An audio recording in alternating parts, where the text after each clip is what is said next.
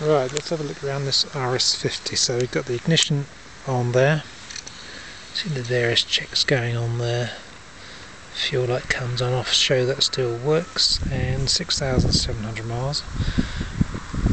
Right, let's start the engine. Starts first time, seems fine, the battery seems good.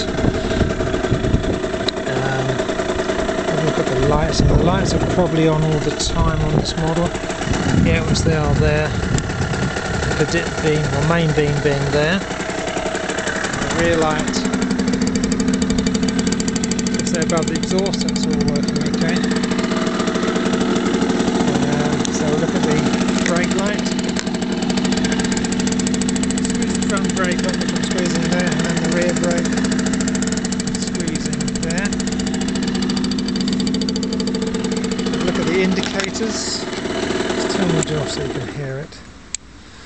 Indicators.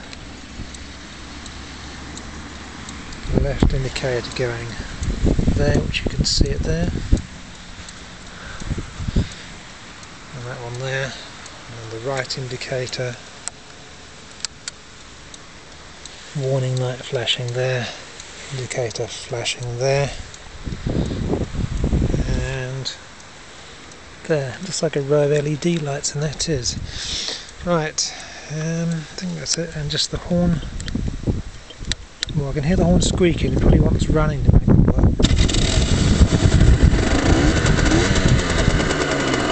Horn wants adjusting